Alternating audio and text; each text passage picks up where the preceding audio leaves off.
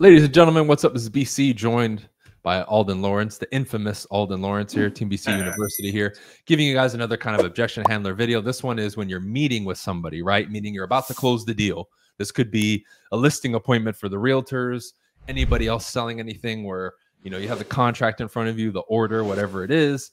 You're about to ask them, okay, if you don't have any questions, let's go. And they hit you with the infamous, you know what, Alden?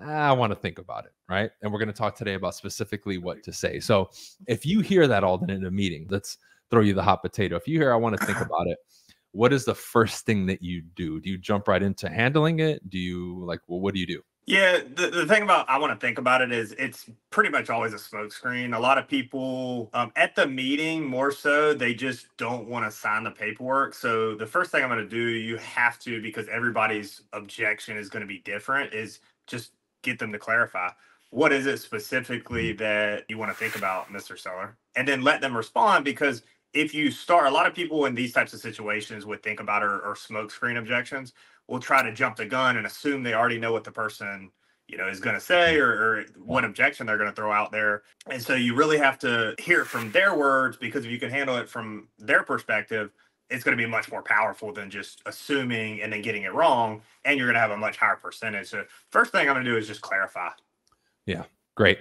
And i, I want to add to what alden said one of the first things i do when i have a meeting is i let people know hey the whole goal of tonight's meeting is to arrive at a yes or a no. Either one is fine cool now that sounds like an innocent statement to people and a lot of people don't have the confidence to say that at the beginning because they're they're they're coming from scarcity and afraid of losing the deal but when you do that you set the frame and you set the tone and you will reduce the likelihood of hearing that. But even then, I could bring it up. But what he said is fantastic. You just want clarification. Now, whatever set after that, right? You guys have to make sure that after that you isolate. Let's say they say, well, you know, really, Alden, it's the commission, right? Uh, your fee is too high. Let's say the smoke screen is gone. He says the commission. Immediately, what people fail to do is isolate. Great. So it's just the commission. Is there anything else, or is that really the only thing uh, stopping us from moving forward today? Oh no, it's just the commission. Everything is great. You've effectively isolated. Now you handle the commission and you move forward, right? So in your experience, Alden, when you talk with people and you drill with them, how many do you know for a fact are isolating, and how many are forgetting to do that? Uh, I would say probably very few people isolate. Yeah. Is that something that you learned early on, or did you have to kind of pick that up as you went? Uh, do you mean the isolation? Yep. Oh yeah, I mean, I knew it, but I was, I mean, I'm guilty as everybody, right? I kind of neglected isolation, uh, isolation until I started going on a lot more listing appointments and solely focusing on, okay, I want to build a listing based business. I started isolating, and what do you know? I started signing a lot more listings, and my percentages went up. Why do you think people dance around this or just give up when someone says, "I want to think about it"? Because we gave the response, right? And now we can give the 20 different objections that they give after that, which we've made other videos. But why do you think people get so stuck on this? Is it they're afraid to to is it like scarcity? Like, oh well, if I poke at the beast, it's gonna bite me type of thing? Yeah, and I, and I think because I experienced this myself for the longest time because I didn't come from a sales background, I think they believe it. I think that they believe when somebody says they want to think about it, because again, I was guilty of this, that they actually believe this person is going to go home and, you know, sit on it and think on it for, you know, nights and, and weeks upon end. And then mm. two weeks later, when they're on the market with another person, they're like, you know, what happened? But, but I, I think the problem with these types of, of false time constraint objections is like people actually believe into what people are saying. Yeah, I agree, man. Uh, uh, let's take a look at it and analyze it. Think about what what are they thinking about, right? And and, uh, and there's many lines and many things yeah, that I say. I say, great, Mr. Sell. Well, just so I'm I'm clear and and we leave no questions unanswered. You know, what's really up in the air right now? Like, what are you thinking about? Is there any concerns? Right? I kind of open it up like that, and I just start letting the floodgates open, and they and they can talk to me, right?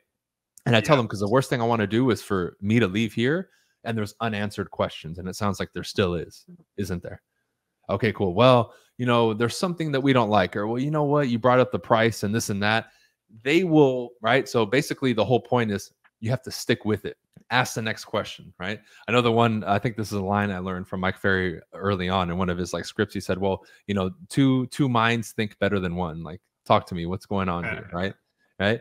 Or hey, up up until now, has everything we've discussed or everything we've covered? Um, are you comfortable with it in, in, that? Okay, great. So let's tie up some of the loose ends. What's going on?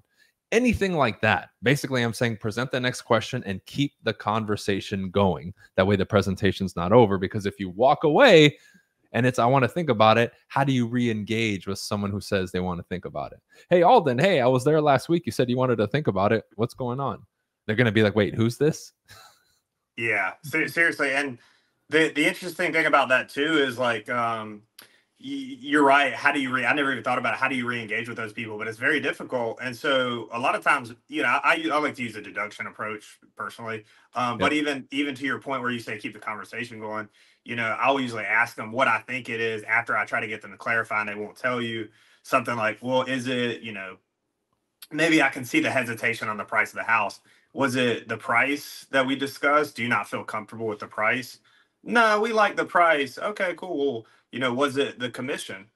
You know, uh, nah, you know, oh, we thought the commission was fair. Okay, I mean, there's really only thing one uh, one thing left, or was it the marketing plan? Um, no, not the marketing plan. Uh, okay, Mr. Seller. I mean, do you have an issue with me? Have I been, you know, have I been a terrible presenter here at the, the appointment? So, but just asking them, really trying to, to dig into their thought process. And if you label it, they'll acknowledge it. Yeah.